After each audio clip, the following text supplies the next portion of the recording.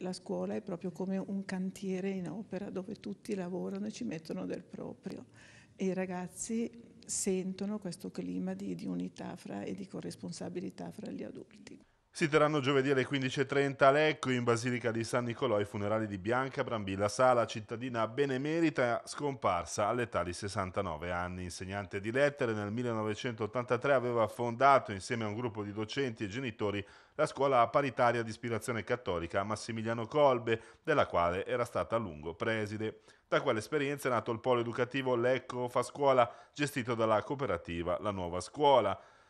La sua vita, si legge in una nota del CDA della cooperativa, è stata caratterizzata da un intelligente e appassionato impegno nel mondo dell'educazione. Siamo grati a Bianca per aver testimoniato a noi e alla città intera la bellezza dello spendersi per il bene comune. Per il suo impegno il comune di Lecco nel 2016 le aveva conferito la civica benemerenza San Nicolò d'Oro.